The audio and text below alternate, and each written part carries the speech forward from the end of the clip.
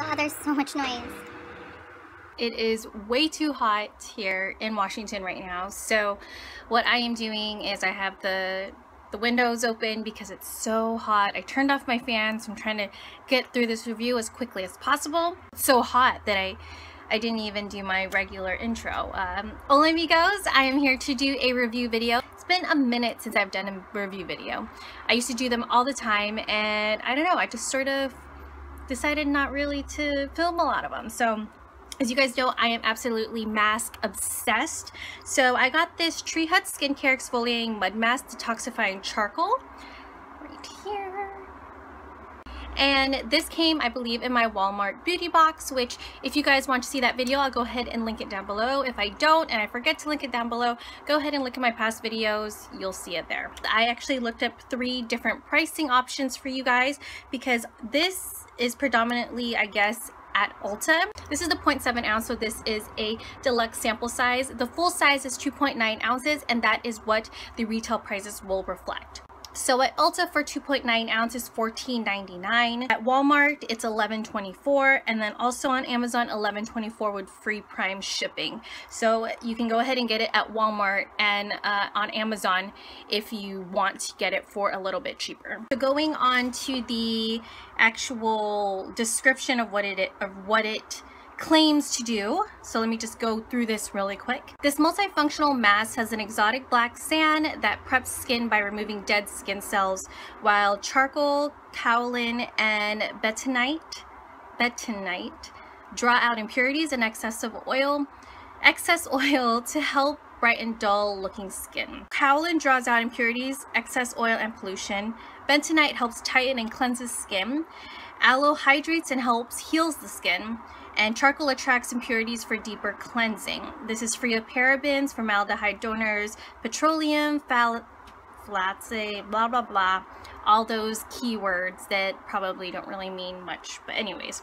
I wanted to go ahead and give this a try for you guys. Before I go ahead and do that, I'm going to tell you now that I am going to exfoliate with my Peter Lamas Exfoliating Pumpkin Facial Scrub.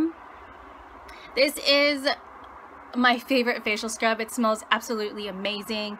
And yeah, this is just a little sample size, but the full size is about $21, which I will go ahead and invest money in because I absolutely love it. Okay, so I'm just gonna go ahead and show you what it looks like. I have here my little silicone brush that I have here used from that I've been using for masks. I actually got this off of eBay for a dollar. You can go ahead and get that on there for a dollar shipped. Okay, so I'm just gonna go ahead and again, I have done this before, so this is not a first impression just FYI. I love the smell.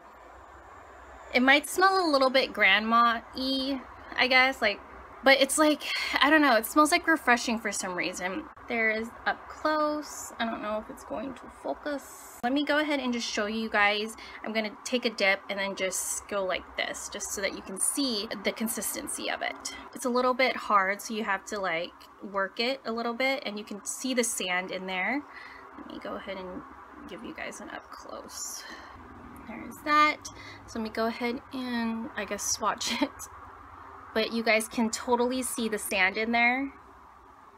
This stuff dries super quick, so I'm gonna go ahead, put this on my face, and then I will come back with an update.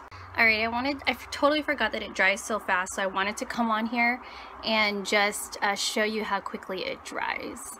As I'm applying it, you can see that the edges here are starting to dry. It says here that the directions say apply a thin layer on clear skin and cover face completely. I'm not going to do it completely. Leave on until it begins to subtly crack. So doesn't take much. So I'm just doing it in my problem areas as of right now, which right now is my chin, my cheeks, and my forehead. So as you can see, it's drying very, very, very fast. So let me see here what time it is. It's about 2.26 right now, so I'm gonna come back with you in about 10 minutes to see where we're at. All right, 10 minutes has passed. It's 2.36, and I still have two patches here that need to dry up, but this is pretty much what it looks like when it's dried up. It's like a ashy gray with a little tint of blue. It can totally crack, so you can see, let me do a close-up real quick. Can you see the cracks? There it is. those are the cracks that they're talking about. I can barely move my mouth because this is holding this in place. This is holding this in place. So my range of motion on my mouth is very limited. So yeah. Okay, so I'm to wait for these pouches to dry and then I'm to wash my face and then give you a almost lightweight review on it. Alright, it's about 2.45 right now, so it's been about almost 20 minutes and it's pretty dried up and as you can tell, there's some cracks here, a little bit of cracks there.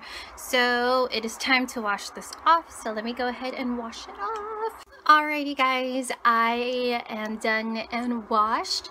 And I will say that I actually like the way that my skin feels afterwards because it doesn't feel too dry. Some masks, as soon as you take it off, you feel like you just have to moisturize right away. But this actually, you can like chill for like a second and like not have to worry about your skin feeling like it's like stuck and like crackly.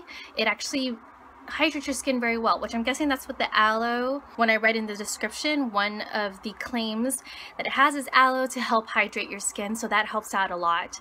It took a little bit longer to dry. Anyone strapped on time, probably not the best mask because you have to wait for it to dry, or you can put a really thin layer and it dries up right away. So yeah, I actually really like this mud mask. I have tried multiple mud masks.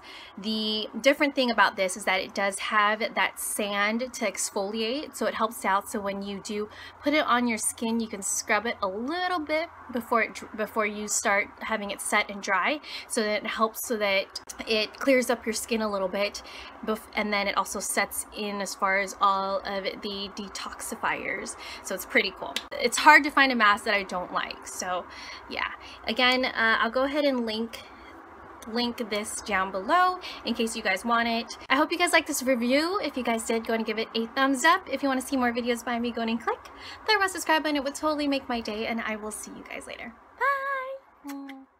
Hey guys, just FYI, I do have a second channel, or second channel, it's linked down below at all my videos. It's just random adventures that I do go on, as well as just random everyday life. And yeah, if you want to follow me on my adventures, go ahead and click on that link down below. Alright, I will see you guys later. Bye!